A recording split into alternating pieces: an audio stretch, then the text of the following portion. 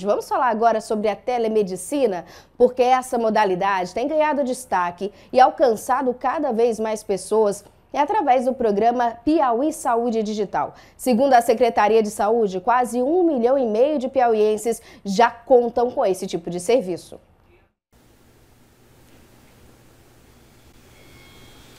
Olá, Beatriz, muito boa noite para você, boa noite a todos. Pois é, Bia, olha só, saúde é algo que precisa cada vez mais de investimentos e é por isso que a Secretaria de Estado da Saúde aqui do Piauí lançou o programa Piauí Saúde Digital.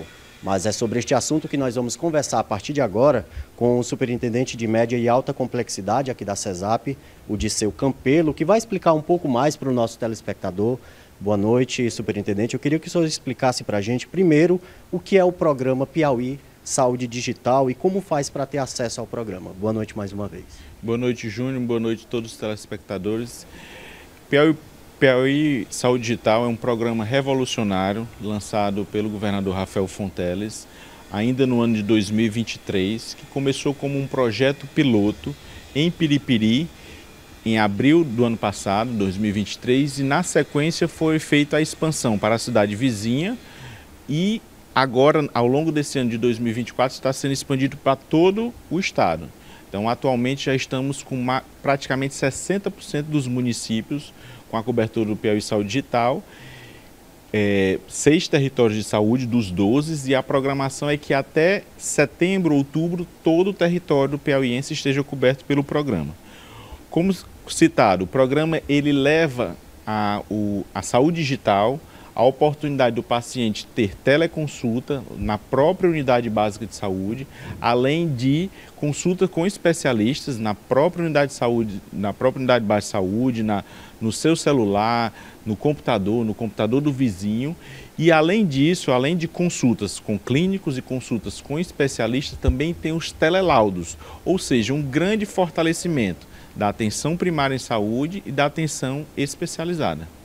Superintendente, quais são os serviços que estão sendo ofertados é, no programa? Olha, os serviços são de consultas, consultas com clínicos, inclusive 24 horas, consultas com especialista através de agendamento e telelaudos. Telelaudos de quê? Telelaudos de eletrocardiograma, telelaudos de raio-x, mamografia, tomografia computadorizada, já estamos implantando nos hospitais da rede estadual também o telelaudo para alguns desses exames, como foi citado. Para ter acesso, o usuário ele deve ir aonde? Na unidade básica de saúde, que é a mãe, que é a porta de entrada para esses serviços. Então, os pacientes, os usuários do SUS, eles devem procurar as unidades básicas de saúde do seu município, do seu, do seu território ali, do seu bairro, para ter acesso, fazer o cadastro, fazer o cadastro na plataforma e, em, por, por exemplo, o usuário vai na unidade de saúde e naquele momento não está tendo o médico ali, ele pode solicitar a consulta via telesaúde. Queria aqui agradecer a participação do superintendente de média e alta complexidade aqui da Secretaria de Estado da Saúde, Beatriz. Então tá aí informações importantes para o nosso telespectador. Eu volto contigo aí no estúdio.